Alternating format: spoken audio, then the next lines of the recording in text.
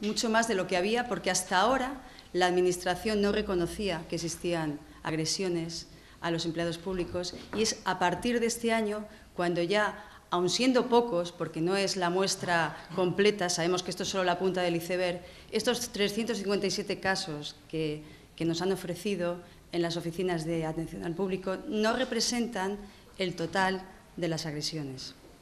Pero sí que es verdad que es un avance, porque la Administración no reconocía ningún caso. Y sí que en el caso de, por ejemplo, las oficinas de atención al público del SEPE, las oficinas de empleo de toda la vida, sabemos, porque sí que nos han ofrecido datos, que ha habido un repunte en este primer trimestre, en el 2015, con un repunte de casi el triple de las, de, las agresiones que se habían producido en el año 2014. En este caso es una excepción. Jamás cualquier protocolo que se hace, se hace siempre para todos los organismos. Es un protocolo paraguas, para que proteja a todos los, a todos los empleados públicos. Y es la primera vez que se excluye a instituciones penitenciarias. Por eso reclamamos que no se haga esta excepción, porque nunca se ha hecho.